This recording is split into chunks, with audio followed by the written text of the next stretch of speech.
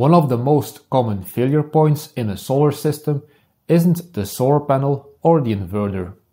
It's the cable connection. And a lot of times, it's the lug. In this video, I will show you why cheap lugs fail and how to spot the good ones. You can see many of these lugs being sold online. They look great at first, but are they? Let's take a closer look. Can you spot the cheap one?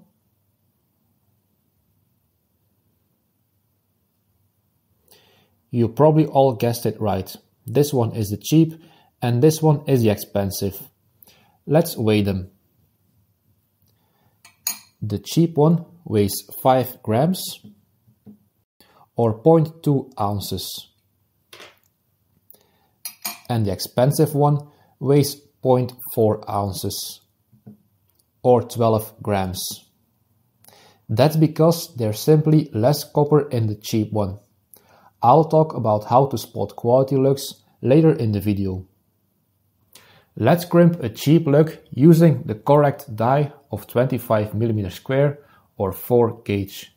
When I finish the crimp, let's do a pull test.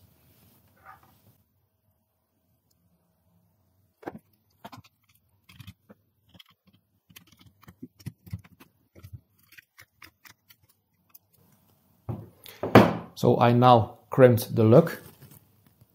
And let's now do a pull test. You can see it came right off. Now you might think you can crimp it with a smaller die of 16mm square or 6 gauge. Let's take a look at what happens. When you use a smaller die, the copper is squished and will not make a good contact. I also crimped a good lug and then I cut it in half and you can see the copper strands are fused into one solid conductor. That's called a cold weld. It's not heat or melting, it's pressure from the hydraulic crimper. And that's exactly what you want, a strong gas-tight connection. Why? Because once air gets in around the strands, corrosion begins.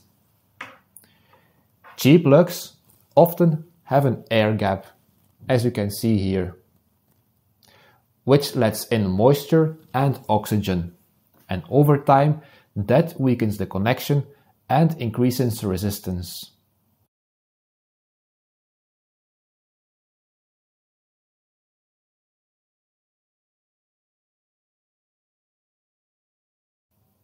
Most lugs come with a tinned layer to avoid corrosion. But when I scrape the tin layer of a cheap lug, it's very thin and comes off right away. And when I scrape the tin layer of a good lug, it's much thicker, which will less likely become corroded. So how do you avoid the bad quality lugs? First, you can check the pictures of the reviews people are leaving you can usually spot the thin walls. Secondly, and usually the most useful, is the price. $23 for 120 lugs is a dead giveaway. Quality lugs will cost you at least $1 a piece and not 20 cents. I get my lugs from an online electrician store and I also got these quality lugs from AliExpress. I also found a few quality lugs on Amazon with a flared connection, which makes it easier to insert your cables, and I will link both of them in the description. So how do you crimp cable lugs? It's quite easy. First, choose a lug with the right cable diameter and the right hole. This is displayed on the lug itself. For this lug, it's 25 mm with an M8 hole. In the US, this is 4 gauge with a 5 16 inch hole. Then you strip the cable and add the lug, and then you crimp the lug using an hydraulic crimper. If you have longer lugs, like the one I have here for a project of mine for 1 gauge cable, then start crimping from the lug and the second crimp should be made closer to the cable. And then at the end, you'll add heat shrink, preferably with glue. Your whole solar system depends on good connections. Saving a few dollars on lugs is not worth the risk of overheating or starting a fire.